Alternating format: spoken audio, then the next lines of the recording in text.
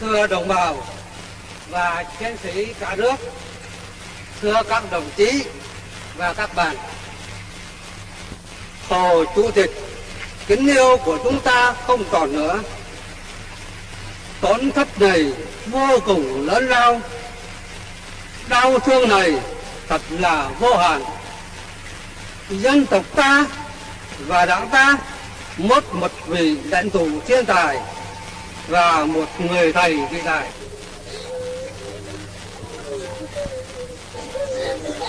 người là tượng trưng cho tinh hoa của dân tộc Việt Nam cho ý chí kiên cường bất khuất của nhân dân Việt Nam suốt 4.000 năm lịch sử. Không có gì quý hơn độc lập tự do. Chúng ta thả hy sinh tất cả, chứ nhất định không chịu mất nước, nhất định không chịu làm nô lệ. Đó là lời kêu gọi cứu nước khẩn thiết hiện nay của Tổ quốc, là lời hịch của ông cha vang vọng từ ngàn xưa, là nghĩa vụ thiêng liêng của chúng ta đối với muôn đời con cháu. Người nói nước ta là một, dân tộc ta là một, miền Nam là máu của máu Việt Nam, là thịt của thịt Việt Nam.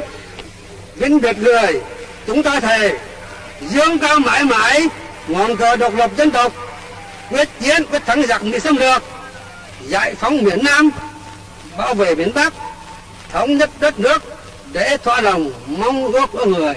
Xin thề, hoài bạo lớn nhất của hồ chủ tịch là tổ quốc được giải phóng, nhân dân được hạnh phúc.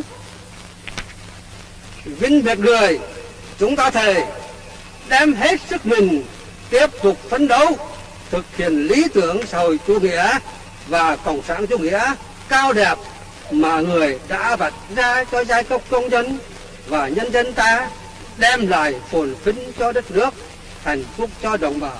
Xin thề, hồ chủ tịch là hiện thân của khối đoàn kết dân tộc tình ruột thịt bắc nam.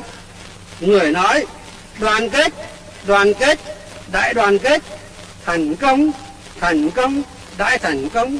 Người luôn luôn căn dặn chúng ta phải giữ gìn và phát huy truyền thống đoàn kết và tình thương yêu đồng bào đồng chí. Vinh việt người chúng ta thề tăng cường sức chiến đấu của đảng, làm hạt nhân cho khối đoàn kết toàn dân, bảo đảm cho sự nghiệp cách mạng của giai cấp công nhân và dân tộc Việt Nam hoàn toàn thắng lợi. Xin thầy Vinh Việt người, chúng ta thề luôn luôn phát huy tình cảm quốc tế trong sáng của Hồ Chủ tịch, hết lòng góp sức vào việc khôi phục và tăng cường sự đoàn kết nhất trí trong phe xã hội chủ nghĩa và giữa các đảng anh em trên cơ sở chủ nghĩa Mark Lenin và chủ nghĩa quốc tế vô sản. Xin thề. Vinh Việt người, chúng ta thề suốt đời học tập đạo đức, tác phong của người, bồi dưỡng phẩm chất cách mạng, không sợ gian khổ, không sợ hy sinh. Xin thề.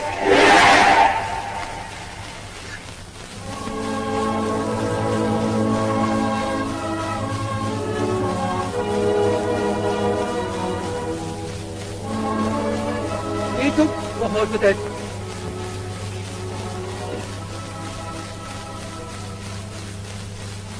cuộc chống Mỹ cứu nước của nhân dân ta dù phải kinh qua gian khổ, hy sinh nhiều hơn nữa, song nhất định thắng lợi hoàn toàn. Đó là một điều chắc chắn.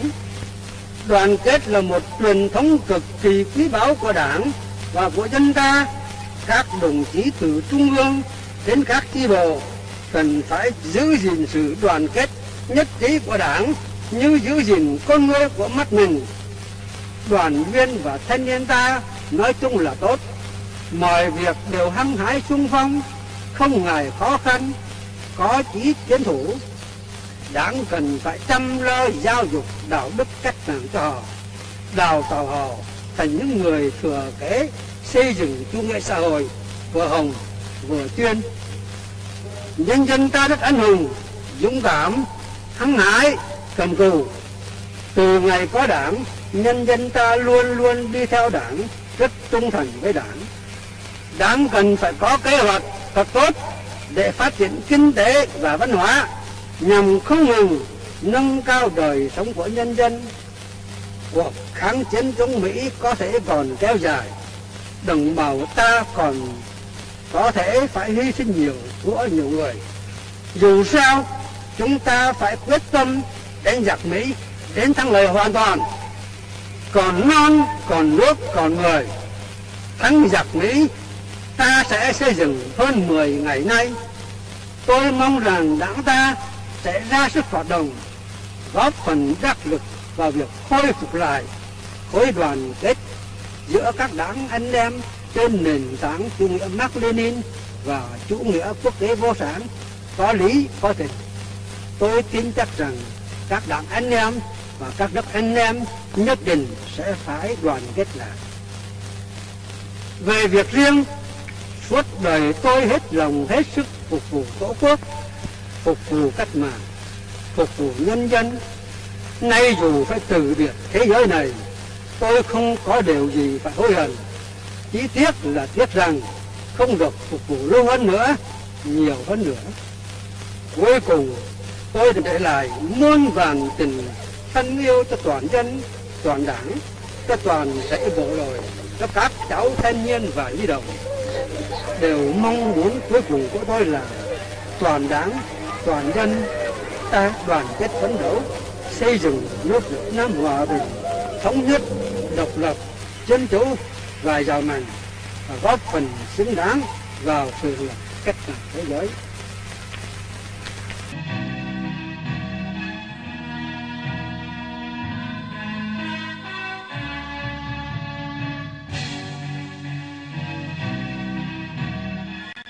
Hơn 60 năm qua, từ buổi thiếu niên cho đến phút cuối cùng, Hồ Chủ tịch đã cống hiến trọn đời mình cho sự nghiệp cách mạng của nhân dân ta và nhân dân thế giới. Hồ Chủ tịch là người sáng lập, lãnh đạo và rèn luyện đảng ta, là người xây dựng nền Cộng hòa Dân chủ Việt Nam và mặt trận dân tộc thống nhất, là người cha thân yêu của các lực lượng vũ trang nhân dân Việt Nam. Dân tộc ta, nhân dân ta, non sông đất nước ta đã sinh ra Hồ Chủ tịch, người anh hùng dân tộc vĩ đại và chính người đã làm rạng rỡ dân tộc ta, nhân dân ta và non sông đất nước ta.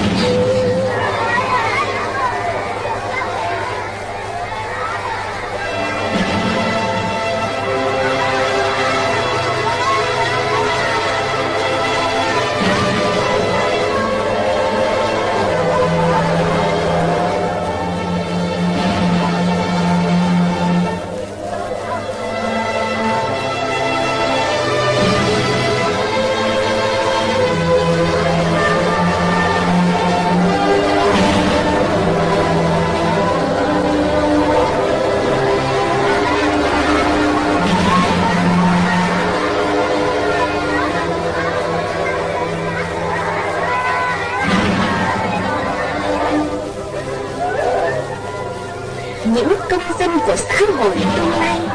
Các em sẽ có vinh dự được mang bó đuốc của thế hệ Hồ Chí Minh chạy tiếp sang những chặng đường mới.